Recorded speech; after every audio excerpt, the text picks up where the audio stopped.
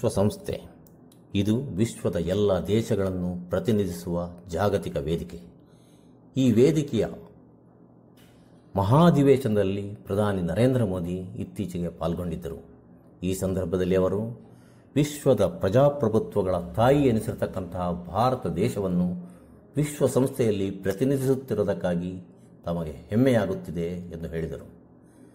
ಭಾರತ ದೇಶದ ಪ್ರಜಾಪ್ರಭುತ್ವಕ್ಕೆ ಸಹಸ್ರಾರು ವರ್ಷಗಳ ಘನ ಇತಿಹಾಸವಿದೆ ಪರಂಪರೆ ಇದೆ ಎಂದು ಅವರು ನುಡಿದರು ಭಾರತ ದೇಶದ ಪ್ರಜಾಪ್ರಭುತ್ವದ ಇತಿಹಾಸದ ಬಗ್ಗೆ ಅವರು ಇತ್ತೀಚೆಗೆ ಹೊಸ ಸಂಸತ್ ಭವನಕ್ಕೆ ಶಿಲಾನ್ಯಾಸ ಮಾಡುವ ಸಂದರ್ಭದಲ್ಲೂ ಹೇಳಿದ್ದರು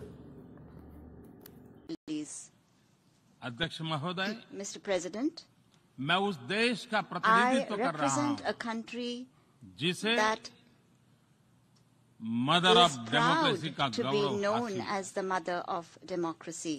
लोकतंत्र की हमारी We हजारों have had वर्षों की a महान great परंपरा रही tradition of democracy that goes back thousands of इस years. 15 अगस्त को On 15th of भारत ने August this year, अपनी आजादी के India entered 75वें the साल में प्रवेश 75th किया year of ಭಾರತದ ಪ್ರಜಾಪ್ರಭುತ್ವಕ್ಕೆ ಸಹಸ್ರಾರು ವರ್ಷಗಳ ಇತಿಹಾಸ ಇದೆ ಎಂಬುದಾಗಿ ಹೇಳಿರುವುದು ಪ್ರಧಾನಿ ನರೇಂದ್ರ ಮೋದಿ ಅವರೊಬ್ಬರೇ ಅಲ್ಲ.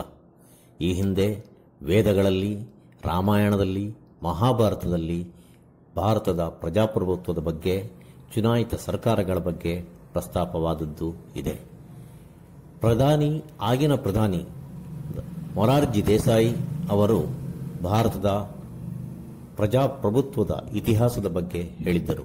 ಸಂದರ್ಶ, ಸಂದರ್ಶನವೊಂದರಲ್ಲಿ ಮಾತನಾಡುತ್ತಾ, ಭಾರತದ ಪ್ರಜಾಪ್ರಭುತ್ವಕ್ಕೆ ಎರಡೂವರೆ ಸಾವಿರ ವರ್ಷಗಳು ಹಿಂದಿನ ಇತಿಹಾಸವಿದೆ ಎಂದು ಹೇಳಿದ್ದರು. ಆ ಬಳಿಕ ಸಾವಿರದ ಒಂಬೈನೂರ ತೊಂಬತ್ತರಲ್ಲಿ ಆಗಿನ ವಿದೇಶಾಂಗ ವ್ಯವಹಾರಗಳ ಸಚಿವ ಪಿ ವಿ ನರಸಿಂಹರಾವ್ ನಂತರ ಅವರು ಪ್ರಧಾನಿಯಾಗಿದ್ದರು. ನೇಪಾಳಕ್ಕೆ ಭೇಟಿ ಕೊಟ್ಟಂತಹ ಸಂದರ್ಭದಲ್ಲಿ ಭಾರತದ ಪ್ರಜಾಪ್ರಭುತ್ವದ ಪುರಾತನ ಇತಿಹಾಸದ ಬಗ್ಗೆ ಹೇಳಿದ್ದರು. ಎರಡು ಸಾವಿರದ ಮೂರರಲ್ಲಿ ಅಟಲ್ ಬಿಹಾರಿ ವಾಜಪೇಯಿ ಪ್ರಧಾನಮಂತ್ರಿಯಾಗಿದ್ದಂಥ ಸಂದರ್ಭದಲ್ಲಿ ಸಂಸ್, ಅಂತಾರಾಷ್ಟ್ರೀಯ ಸಂಸದೀಯ ಸಮ್ಮೇಳನದಲ್ಲಿ ಪಾಲ್ಗೊಂಡಿದ್ದರು. ಅಲ್ಲಿ ಭಾರತದ ಇತಿಹಾಸ, ಸಂಸದೀಯ ಇತಿಹಾಸ ಅತ್ಯಂತ ಆಳವಾಗಿ ಬೇರು ಬಿಟ್ಟಿದೆ ಪುರಾತನ ಸಂಸ್ಕೃತಿಯಿಂದನೇ ಬೇರು ಬಿಟ್ಟಿದೆ ಎಂದು ಹೇಳಿದ್ದರು. ಹಾಗಾದರೆ ಭಾರತೀಯ ಪ್ರಜಾಪ್ರಭುತ್ವದ ತಾಯಿಬೇರು ಯಾವುದು ಎಂಬುದಾಗಿ ನೋಡೋಣವೇ? ದಕ್ಷಿಣ ಭಾರತದ ತಮಿಳುನಾಡಿನಲ್ಲಿ ಚೆನ್ನೈಯಿಂದ ತೊಂಬತ್ತು ಕಿಮಿ ದೂರದಲ್ಲಿ ಕಾಂಚೀಪುರಂ ಜಿಲ್ಲೆ ಇದೆ. ಈ ಜಿಲ್ಲೆಯಲ್ಲಿ ಉತ್ತಿರಾ ಮೇರೂರು ಎನ್ನುವಂತಹ ಒಂದು ಊರಿದೆ. ಈ ಊರಿಗೆ ಸಾವಿರದ ಇನ್ನೂರ ಐವತ್ತು ವರ್ಷಗಳ ಇತಿಹಾಸ ಇದೆ. ಇಲ್ಲಿನ ಮೂರು ಪ್ರಮುಖ ದೇವಸ್ಥಾನಗಳಲ್ಲಿ ಹಲವಾರು ಶಾಸನಗಳಿವೆ. ಈ ಶಾಸನಗಳು ರಾಜ ಚೋಳಚೋಳ, ಆತನ ಮಗ ರಾಜೇಂದ್ರ ಚೋಳ ಮತ್ತು ವಿಜಯನಗರದ ಚಕ್ರವರ್ತಿ ಕೃಷ್ಣದೇವರಾಯನ ಕಾಲದ ಶಾಸನಗಳು. ಏನು ಈ ಶಾಸನಗಳಲ್ಲಿ ವಿಶೇಷ?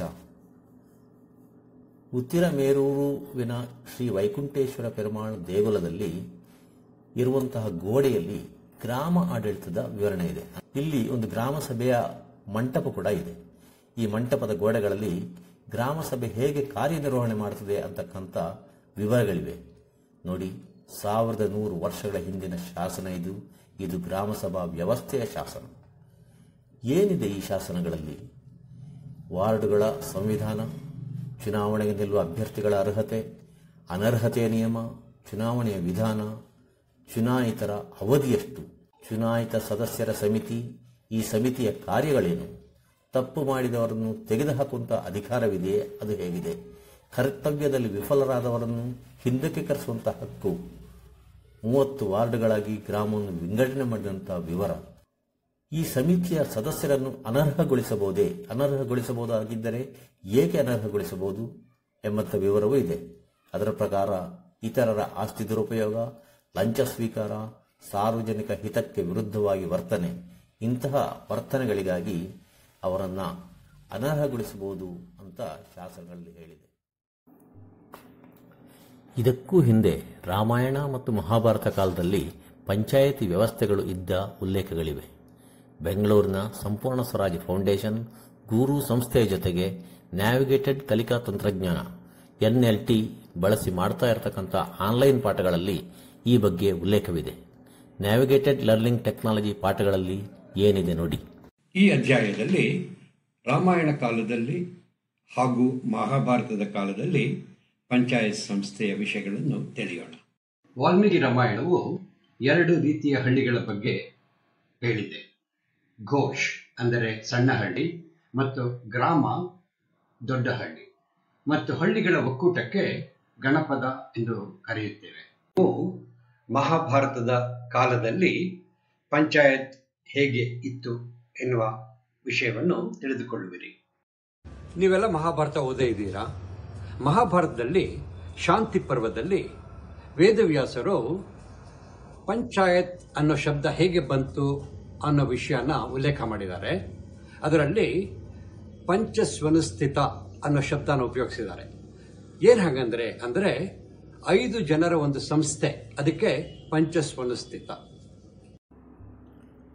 ಇಷ್ಟೇ ಅಲ್ಲ, ಮಹಾಭಾರತ ಕಾಲದಲ್ಲಿ ಅಜ್ಞಾತವಾಸ ಮಾಡುತ್ತಿದ್ದ ಪಾಂಡವರು, ಕಲ್ಲುಗಳಲ್ಲಿ ಕುಳಿತು ನ್ಯಾಯ ಪಂಚಾಯಿತಿ ನಡೆಸುತ್ತಿದ್ದ ಗುಹೆಯೊಂದು ಕೂಡ ಮಧ್ಯಪ್ರದೇಶದ ಸಾಲಬರಡಿಯ ಬೆಟ್ಟಗಳಲ್ಲಿದೆ. ಅದರ ವಿವರ ಇಲ್ಲಿದೆ ನೋಡಿ.